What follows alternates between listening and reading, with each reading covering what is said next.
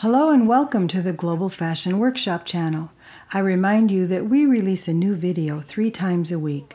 Today I've got a lot of turquoise fabrics around me, but it's not about the fabric. Today we're going to talk about the dolman sleeve.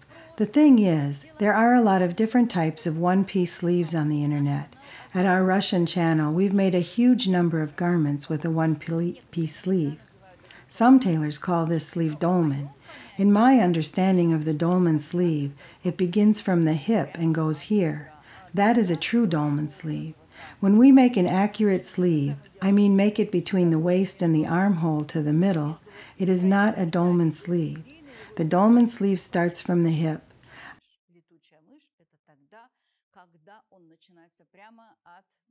I remember those times when these sleeves were in fashion. They had been made oversized. They began at the hip line or lower, and those sleeves were cut just like this.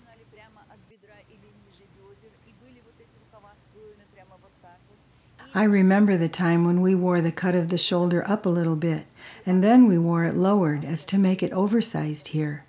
Why did I decide to make this sleeve? We are preparing a course called Linen Trousers Without a Pattern. I'm planning to release it soon. Look, here they are. They're laying on the wrong side because I really like this wrong side.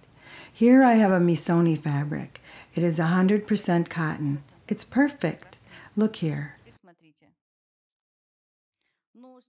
I decided to make a sweater from a 100% cotton and combine it with these trousers. But the Missoni fabric is so colorful, you can combine it with any trousers.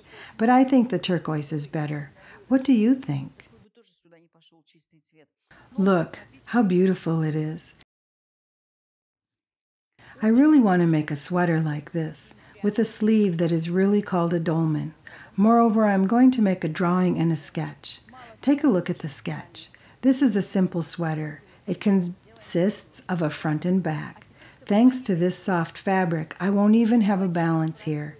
If you're going to make it from a non-stretchy fabric, Please make the front higher here. I'm going to make the drawing now. We need to take some measurements. The volume will start here from the hip line. I always try to draw full sleeves, but it doesn't work because I just don't have enough space to draw the sleeves. So that's what we have. Our sleeves will be longer.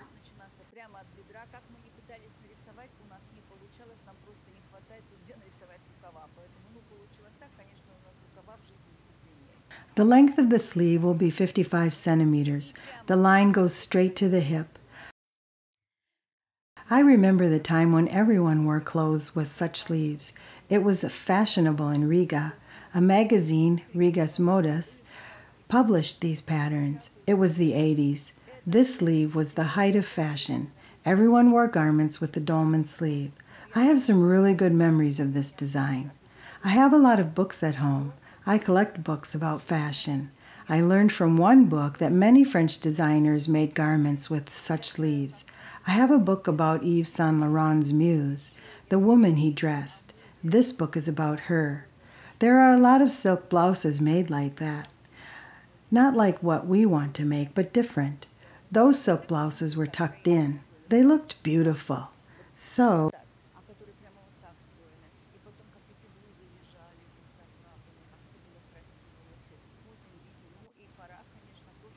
Let's talk about the dolman sleeve. Let's make the drawing. We need to take some measurements.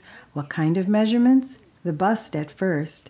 So you can ask why we need the bust measurement. The bust measurement is unnecessary, but we need it to draw the first line of the side seam to get to the hip line.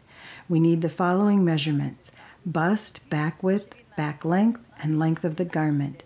The length of the garment goes according to the fabric. I will fold the fabric in half. The length of the sleeve is 55 centimeters. I don't want to make it 60 centimeters because I prefer shorter sleeves. I don't like long sleeves. The fabric has stretch. That's why the drawing is simple. Here is a straight line, here on the neckline, because that's how the stripe is placed. If it hangs down a little bit, it'll be fine, too. It hangs a little here. Here we'll make a dolman sleeve. That's why we started to make the drawing. I think a lot of people will feel nostalgia when they make such a sleeve. Bust is 1 meter and 18 centimeters. Now let's talk about the hip circumference. We usually measure the hips at the widest point of the buttock, including the belly. Check it by moving it around to make sure everything fits well. It's a little different here. I'm going to measure the hip circumference just above the hips, just a little bit above the hips. First of all, my fabric is soft, so it'll fit well. Secondly, I wanted to fit a little on the hips here. I won't take the full hip measurement, but a little less. I mean to make the hip measurement above the hips. My measuring tape isn't going to go through here. I measure 1 meter 7 centimeters. It's not the hips. This is the measurement over the hips for making the hemline of the sweater here. I write down 1 meter 7 centimeters. The hips are 1 meter 7 centimeters. Half is 53.5 centimeters and a quarter is 27 centimeters. So let's see. Bust, hips, width and length of the back, length of the garment, and the sleeve length is 55 centimeters. We don't need a waist circumference. That's all we need. It's enough. Oh, and we need an arm circumference. It should be about 20 centimeters.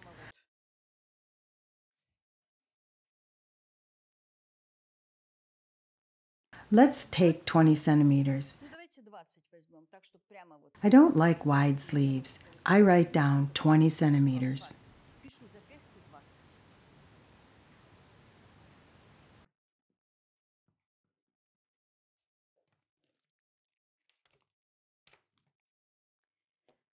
So let's draw the first line, the center front and the center back. I will trace the pattern later.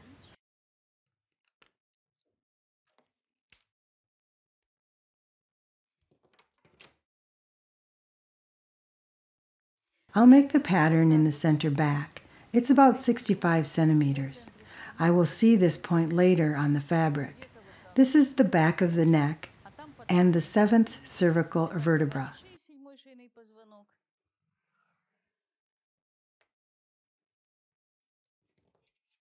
65 centimeter point, it is a hemline. Draw a small line from the seventh cervical vertebra. The back length is 41 centimeters.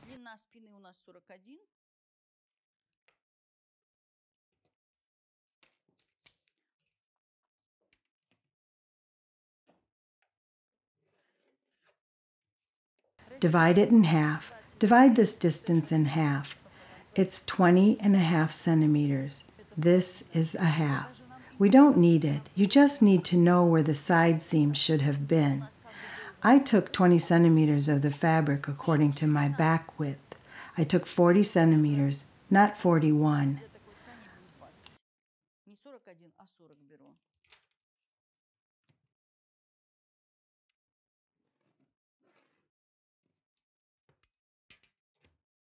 I think it's clear. We need to know the back width, the back length, and the length of the garment yet. Next, the seventh cervical vertebra. This point is the seventh cervical vertebra. I measure 8 centimeters from this point. Draw a perpendicular line up about 3 centimeters from this point. Why am I doing that? I won't even make such a neckline, but I need to know what to do next like so. Look at this point. I measure one centimeter down, one centimeter from the crossing line of the back width and neckline of the back width. Draw a shoulder line. Connect the upper line of the neckline of the back and point one. Let's talk about this line in detail.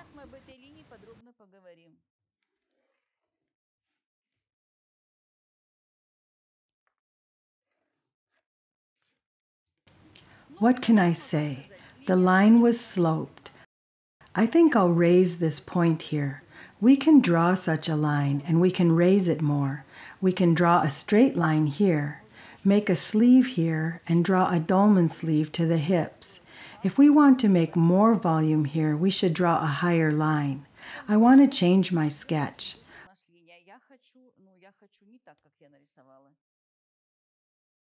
Look at that.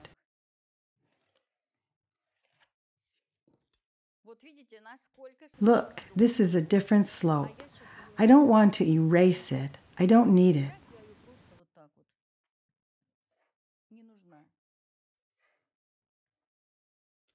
The beginning of the shoulder is the width of the back and the shoulder line. I measure 55 centimeters from the beginning of the shoulder. It's too much. I'll measure 53 centimeters. Now I need a triangle.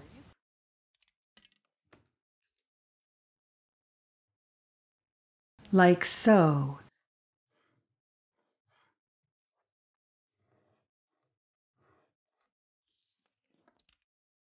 The arm circumference is 20 centimeters. If I measure a half, it's 10 centimeters. I've got such a dainty hand. I measure the hips.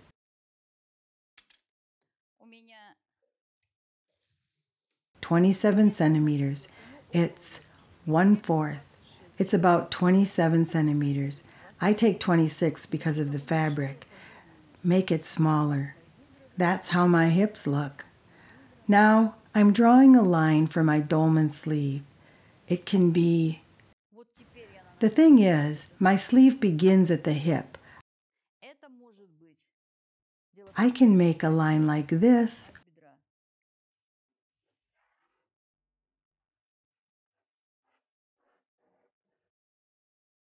Or like that.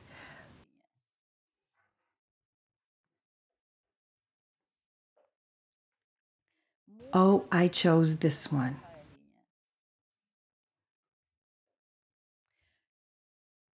This is the moment when we can be fashion designers for ourselves, I always say.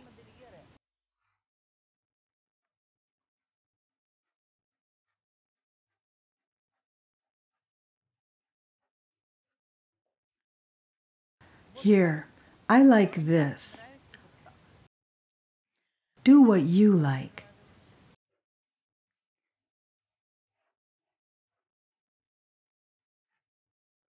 But this is a middle line. Make the right dolman sleeve.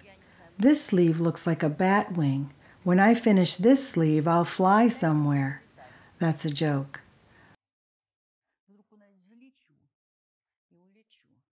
Look here. My neckline will consist of the straight stripe. The straight stripe, and here the shoulder begins. I won't cut the neckline. That's why I redraw it.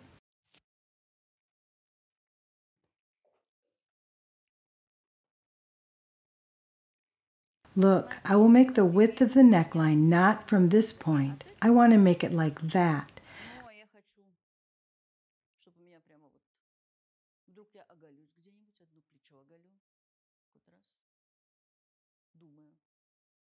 Maybe someday I will show a shoulder. I think I'll make something like that from the half of the shoulder. I take 12 centimeters from the center back. My neckline begins here.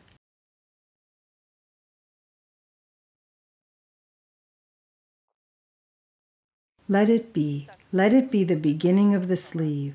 Here I'll make a shoulder. It will go into the sleeve, and here I'll have just a straight line from here to there. As I said, the front and the back will be the same. My fabric is so soft. What about the balance?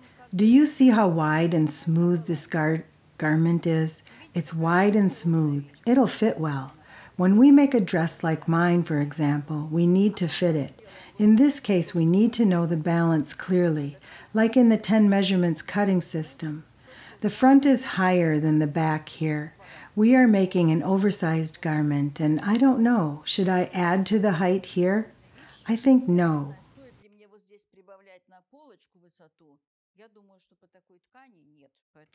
Now I am drawing. I write here the center front and the center back.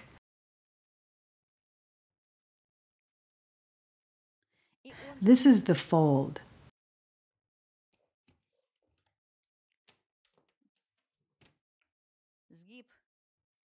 The grain line. You will make it on the grain line. In my case, this is the crosswise grain because my fabric lays across. I'll trace it. We'll make a pattern which I'll cut.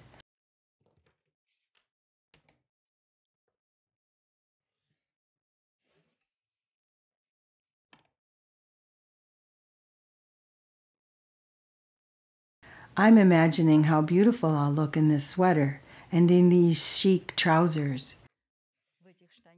This is my pattern. Maybe you will make a dolman sleeve with a round neckline.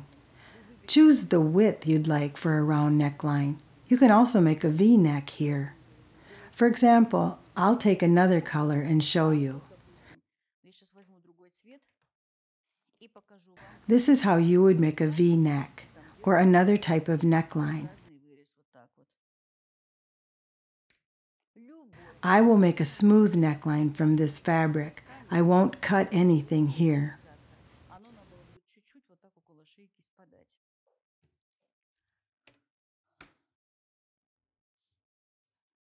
You can choose any slope you like here.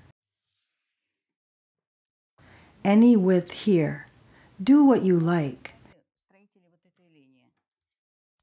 This is the first time we're speaking about the dolman sleeve at our channel. I chose this theme accidentally.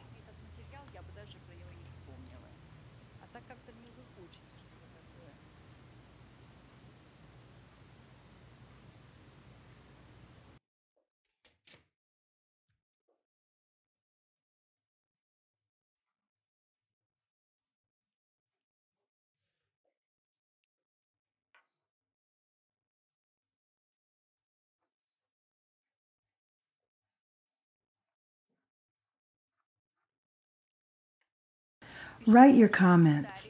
Those sleeves were fashionable. Do you recall? But it's still fashionable nowadays because of the one piece sleeve. A lot of people wear clothes with a one piece sleeve, but I chose this type of a one piece sleeve for today. Those sleeves, as I said earlier, started in the 80s when I bought that Rigas Modas magazine. Here it begins from the hip, not at this point. Then it goes down, and here is where we draw the one piece sleeve. It's a little different. My pattern is ready. All I have to do is cut it, lay it on the fabric, trim it, and put it on with these chic trousers. Find interesting types of fabrics, find new ideas, choose garments which fit you well, or change this pattern. Use your imagination. If your fabric isn't stretchy, make the front higher. Choose a neckline, choose the sleeve length, choose any form of the dolman sleeve. Choose any length of garment and be happy. The most important thing is that we make new clothes to feel happiness. It's time to say goodbye. Click the like button and share our videos on social media and subscribe to our channel. I'll be waiting for your comments. Thank you for watching. All the best from Irina Paukshte and the rest of our team.